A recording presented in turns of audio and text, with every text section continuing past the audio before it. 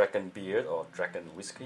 It have a soft hair, but you can load a lot of ink inside the brush tips. And also because it is huge in size, is why we use it to write some couplet. So let's try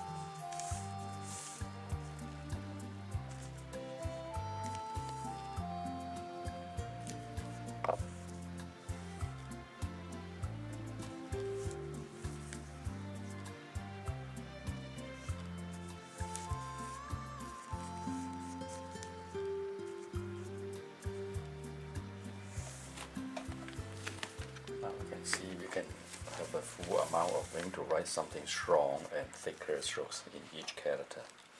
So it looks very strong, it's energetic and powerful, expressing the emotion of the calligraphy like this.